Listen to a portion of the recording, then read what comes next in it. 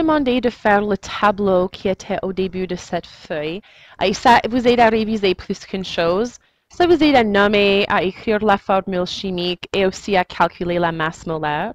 Euh, donc, je vais simplement démontrer à ce qui va dans les espaces vides ici. Pour le premier hydroxyde de gallium, la formule c'est GaOH avec un 3 à l'extérieur des parenthèses. Ça veut dire que 120,75 est la masse molaire. Et puisque j'ai écrit la masse molaire dans le titre du tableau, je n'ai pas besoin de le répéter. L'unité, je veux dire. Uh, le deuxième, c'est hypochlorite de magnésium. Alors, ça, c'est ce que c'est CLO. Uh, sa masse molaire, c'est 127,21 par mol. Uh, Hexa-arsénure de triazote, c'est N3AS6. Et sa masse molaire, c'est 491,55. Uh, le prochain, c'est thiosulfate d'hydrogène. Uh, je veux remarquer une chose ici.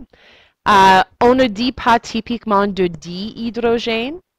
Et vous allez voir pourquoi un peu plus lorsqu'on fait la section sur les acides. Uh, mais lorsqu'on a un ion polyatomique et l'hydrogène, on le nomme comme il était une substance ionique. une des raisons, c'est que, peut-être vous vous rappelez, il y a des substances qui apparaissent comme des composés moléculaires, mais qui agissent comme des composés ioniques. Ça, c'est un de ces exemples.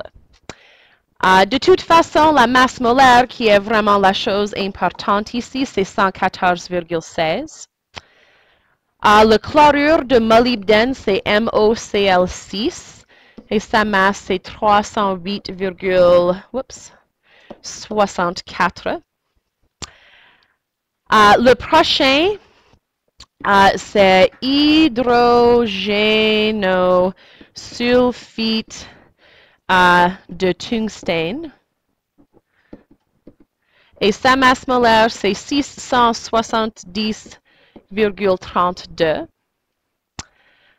Uh, le sulfite d'hydrogène, c'est H2SO3.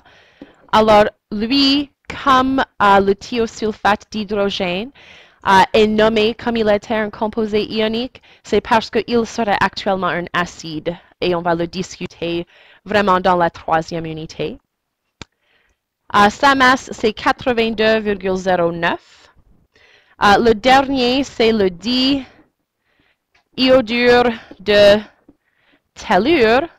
Et sa masse molaire, c'est 381 40.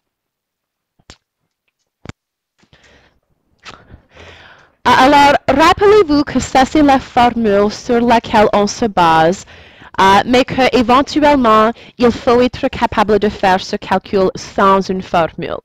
Si tu connais les unités, tu pourras toujours, toujours trouver la valeur que tu es en train de chercher.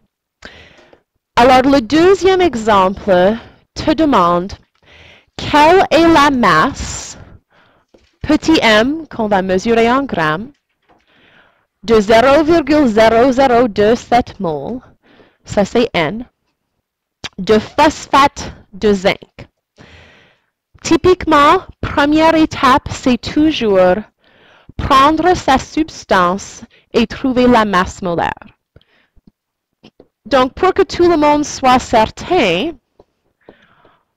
voilà les ions dans le phosphate de zinc. Le zinc a une charge ionique de 2 positif et le phosphate, qui est PO4, a une charge de 3 négatif. Donc, ma formule, c'est celle-là. Souvent, je trouve que ce n'est pas le calcul qui cause des fautes, mais une mauvaise masse molaire qui cause les fautes. Donc, faites attention, vérifiez les charges.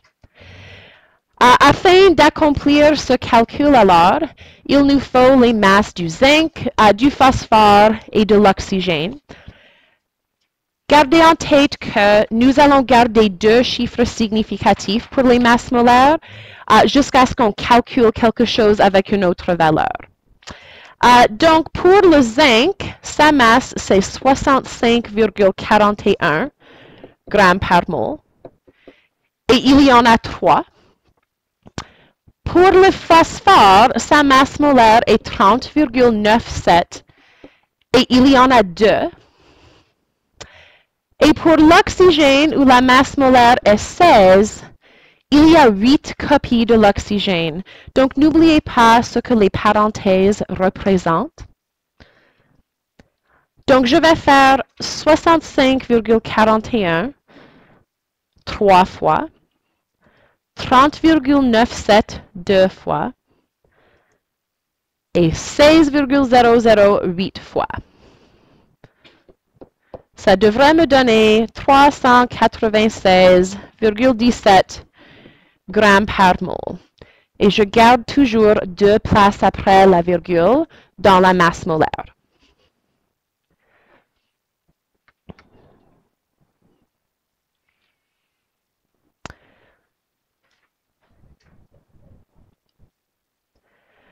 Alors, je vais vous montrer les deux façons auxquelles on peut se référer pour faire le calcul.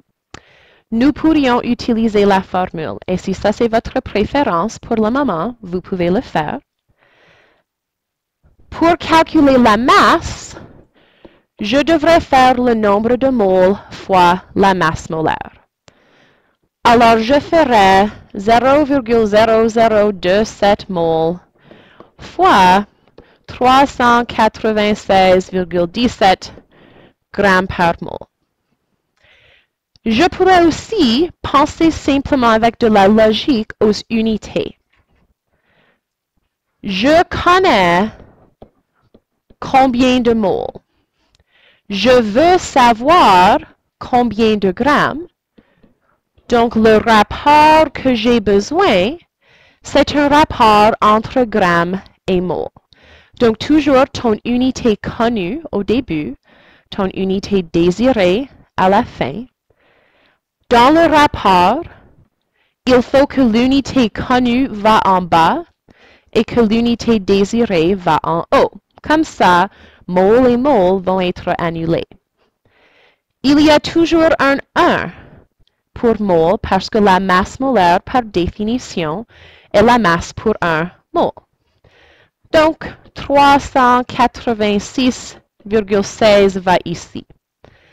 Vous allez remarquer, on fait le même calcul dans les deux scénarios. C'est simplement la façon auquel je pense à la question. Éventuellement, vous ne pourriez pas vous baser sur une formule, sur une feuille de formule, et ça c'est pourquoi je vous montre comment considérer les unités. Donc, ce que je devrais avoir comme ma réponse serait 1,0 g. C'est actuellement 1,042 quelque chose. Mais j'ai arrondi à deux chiffres significatifs à cause du fait que la mesure que j'ai utilisée dans la question avait seulement deux chiffres significatifs. La masse molaire avait cinq chiffres significatifs. Euh, je vais rarement baser mes chiffres significatifs sur la masse molaire, puisqu'on va toujours garder deux places décimales dans cette valeur. Euh, jusqu'à là, aviez-vous des questions? Oui.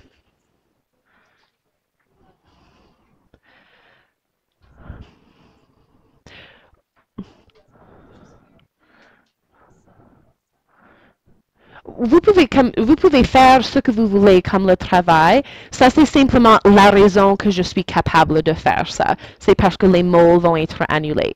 Alors, choisissez la façon de l'écrire que tu crois fait le plus de sens pour toi. Euh, aviez-vous d'autres questions que vous voudriez demander ici, dans cette question? Alors, j'aimerais faire un autre exemple.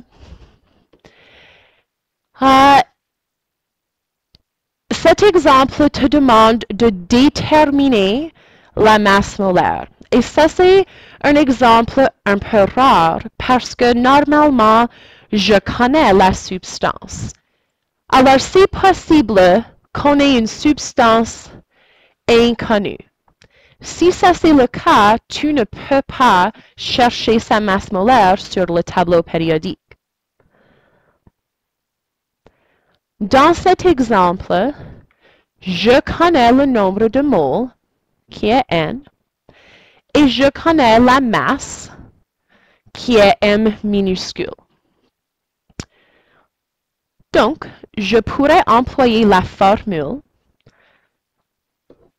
Dans la formule, masse molaire serait masse divisée par mole. Si je pense aux unités, je vais avoir grammes par mole. Alors, ça me dit que je dois prendre les grammes et les diviser par le nombre de moles.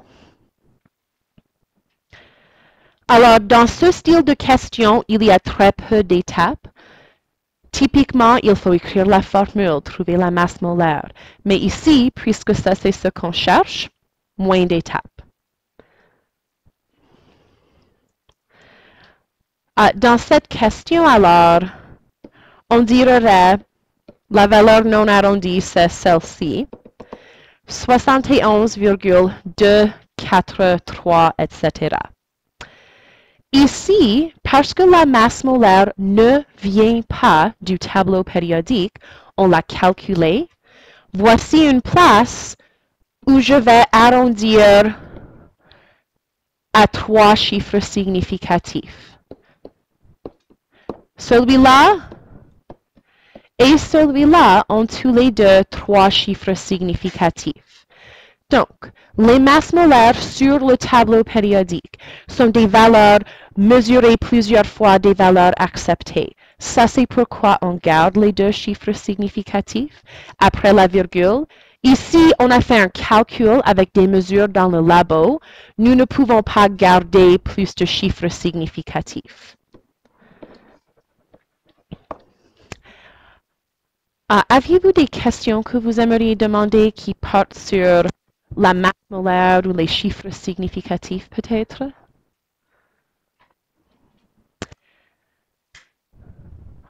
Alors, c'est la dernière.